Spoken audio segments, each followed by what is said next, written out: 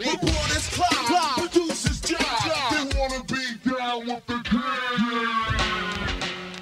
gang. learning my life ain't supposed to be easy, bro. Like I'm, my life is destined to be pretty like not tough in terms like financially, but like I never had shit. Is it because you take route? the longer, harder route? Yeah, for some reason it's not on purpose.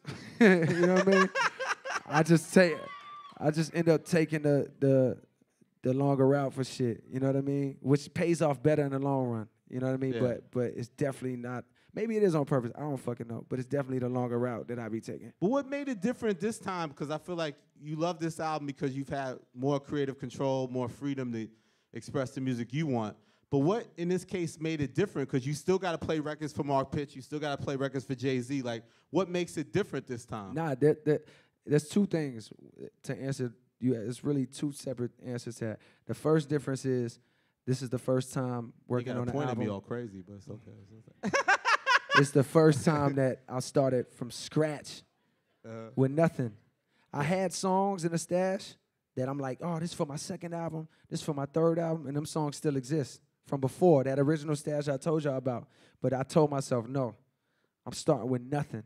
Every song that's gonna be on this album is gonna be fresh. I'm not leaning on these old songs. So that's the clear difference between that and the first time. The first time I was still trying to get these old songs, like Lost Ones.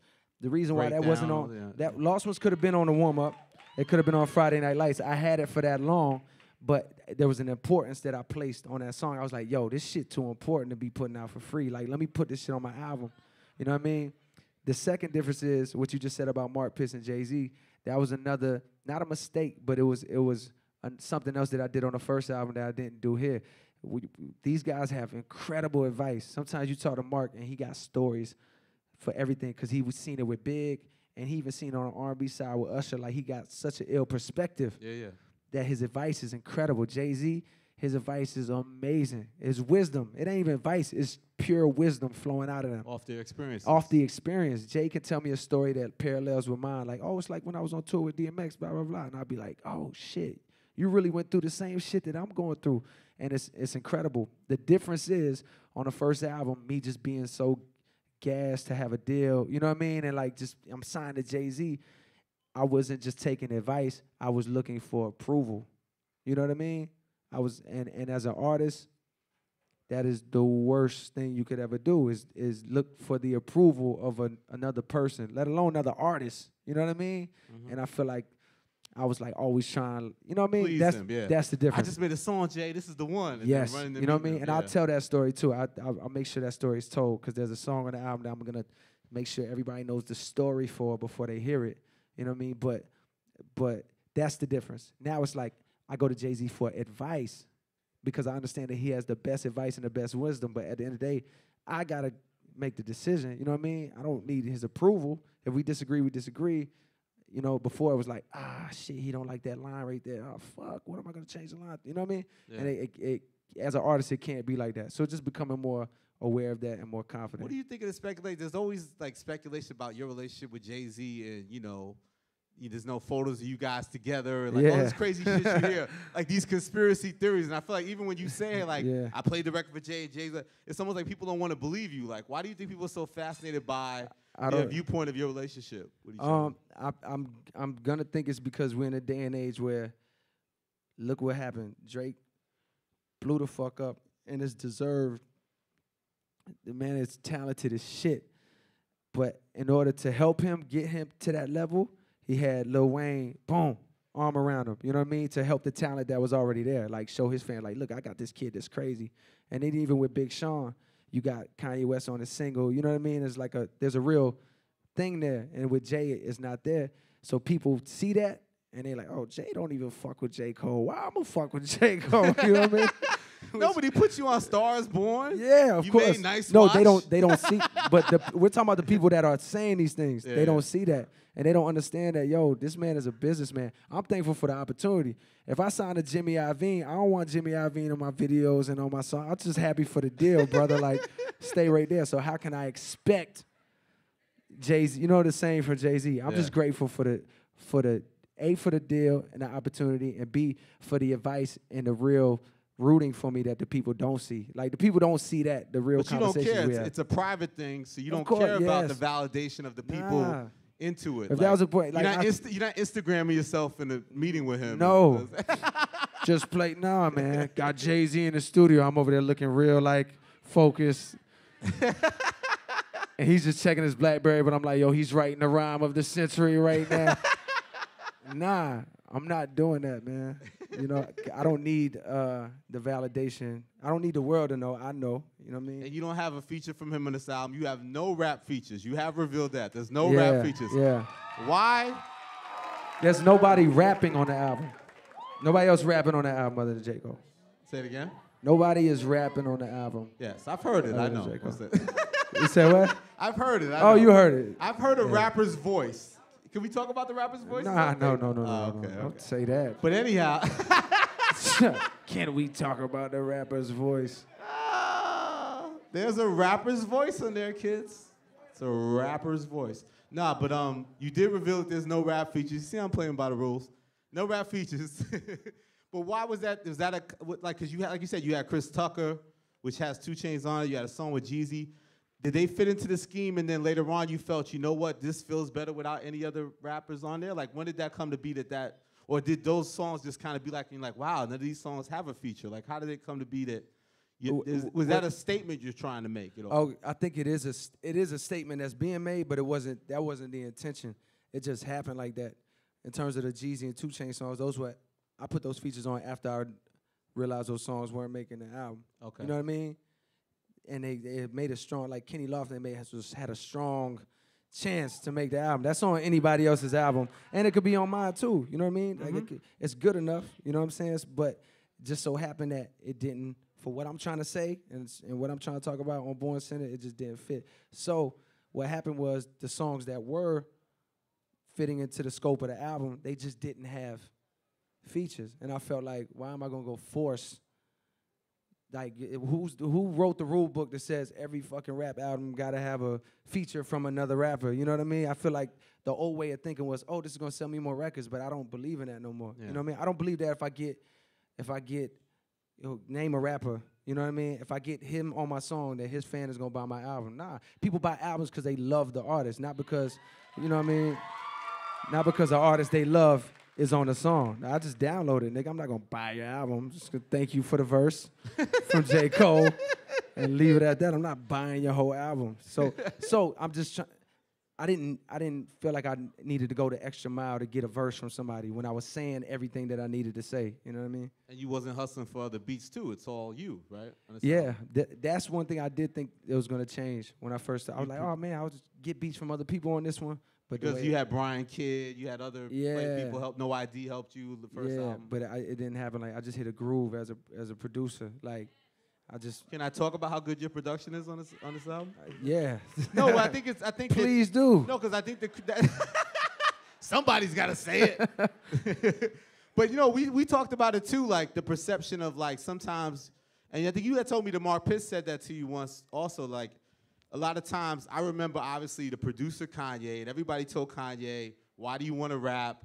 You could be one of the greatest producers of all time. Nobody wanted to hear him rap. Yeah. You can't do Jesus Walks. No one's gonna play that on the radio. Yeah. And he pro- proved everybody wrong. And most times when you're a double threat and you're a rapper producer, you establish yourself as a producer first, and then you become an artist. But Yeah. you did it the opposite way. So I feel like you always have this kind of chip on your shoulder that you don't get enough respect as a producer. Yeah, I don't. And I feel like so what you're talking about with Mark Pitts is he told me from the beginning. This is before like the world found out about me or whatever. He was like, "Yo, dog, I think you need to market yourself." And this is when I'm like, "Market? I'm not marketing. Like, nigga, I'm just gonna put out my music." But I saw what he was. I saw what he was saying. He was like, "Yo, maybe you should come out and market yourself as a producer who raps." And I was just like, "Why the Look at that fuck face, yo. I need a gif for that face. why the fuck would I do that? Even though I know that his wisdom is beyond me, and now four years, five years later, I see why he was saying that. Not that I would have did it anyways, but I see why he was saying that. He was saying that because once you market yourself as a producer, like nobody even cares if you could rap. You know what I mean? Like Kanye was a bonus. Like he he got better and better as his As career went yeah, on yeah, because yeah. he had something to prove. But even if he didn't, it was like, oh, he's just, I love his beats. The rest is a bonus. And and what happened with me was, I feel like because I rap at the caliber of the same people that of, you know, I'm just gonna sound vain. Because I rap at a very high caliber, people forget that I'm also doing High, cal- high caliber rhymer. people high caliber. forgetting that I actually am doing the beats, or they just Yeah. don't even care. And that's why you did the Power Trip video, right? Like you felt like even nowadays people need to see that this I made Power Trip. Nigga, I produced it. Like it's not yes, just like you'd be surprised how after I did the power, Trip, and, and they was telling me like, "Yo, you need to do a power trip production video so they can see how you made." it. I'm like, "Nah, they know. They should know. Like they know, right? Nah." The minute, the minute we put out uh, power trip production video. I never seen so many like, yo, J. Cole, not only is he my favorite rapper, he's my favorite producer. like, nigga, you wasn't even saying that before I put out the video. Now you see me touching some keys. I could have been bullshitting and lying. Suddenly, I'm your favorite producer. But I, I have made it a point on this album to make sure everybody knows when they hear it, know your list. Like, because I, I, I felt like I wasn't broadcasting enough and I wasn't self promoting the fact that I'm doing these beats enough. So now it's like, same way Kanye had to prove himself as a rapper, like, I am the best rapper. You know, I can't it's compete. almost the opposite. It's You the feel opposite. I have to let them know that I really do feel like I'm not better. I'm just as good, sometimes better than a lot of the producers that are producing these. I'm okay, I'm better than a lot of these producers that's making the beats. You know what I mean? But it's funny because people would, would criticize some of your beats and say it kind of sounds similar, some of your, your vibes of your tracks. But Yeah. if you listen to the production on Born Sinner, you've grown as a producer. Like, how did you even get better as a producer? Because I'm not satisfied. Like, I'm not satisfied with. I want to grow. I don't want to make the same stuff all the time. You know what I mean? I want to get better. And people doubting me as a producer only pushes it that much further. I'm not like somebody who found like, come on, you turn on the radio or listen, not even turn on the radio, just go on the internet and listen to whoever the hot rapper is or hot producer is. It's like they find this sound. If my shit sound the same, then what the fuck you call this shit? They find this sound and they literally you know what I mean? Every beat damn near could be replaceable. Me, it's like, okay, I want to challenge myself. So I learned from the No IDs. I got in with Danja Handz. I get in with Timbaland. I get in, or Pharrell. I get in with people as a rapper, and they don't know I'm taking notes as a producer and really just like, Like getting your Snoop on? Yeah, I'm just really picking up so many secrets. That's because I'm not satisfied. If you don't think I'm a good producer, then that's just going to motivate me to try to get even better. And, and do yourself. Yeah, is that shots right there? Is that shots? But you're not taking it, you're just holding it up. There she go. All right, let's talk about the big thing everyone's excited about, though. With What's your, that? With your light skinned brash ass, you said, I'm taking on Kanye. Same date. Oh man. We're going at it. We're going at it, son. Yeah. It's funny because you're doing it like you said in a very like you said it. You expressed why you're doing it in a very intelligent way, and you said, you know, obviously you recognize what he means to your generation. But what do you think it means to your generation, the younger artists that like you know you grew up loving Kanye's music, for you to take that challenge on? Do you feel like you're representing a new era, and by taking that on, and no matter where you fare with the sales, that this is a, important cultural moment in hip hop?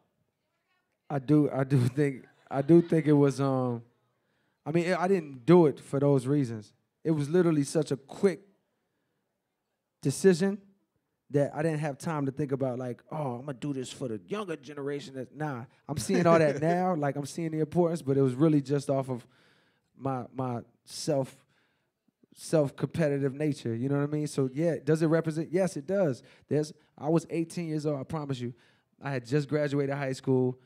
Somehow, and this was before the internet is what it is right now. I just graduated high school. Somehow, I found through the wire video on um on on the internet, and I had already know about Kanye a little bit from like Champions verse or whatever, some verses he had did or whatever, maybe on Blueprint too, and um and I seen through the wire video, and I was like, my, I watched that video every day. You know what I mean? Like, yeah. you know, it was just It's one of the video. moments from his credit. We know clearly, but I was 18 years old. By the time I got to New York, a month into school, there was a Kanye West show at SOBs, which ended up being a legendary show. I didn't know it at the time. I just was a fan. I was there. So I'm saying all this as a fan. But the same way I was 18 years old watching Kanye like this, like, yo, this nigga's a legend. And I'm doing music at the time too. And I'm producing my own shit too. So he's inspiring me, showing me that somebody can do it, producing and rapping. But I'm in the crowd like, yo, this nigga's a legend. I have to realize, and I'm slowly starting to realize, like, yo, it's a nigga out there that's 17, 18, 19, 20 that's coming to my shows, and I see the way they look. They're doing the same thing, like, oh, Yeah. this nigga is a legend. And I'm like, I was just in your fucking shoes, you know what I mean? so in a sense, you're Yeah. right. For them to see me do that and make that statement, like nobody does that. Nobody moves their album.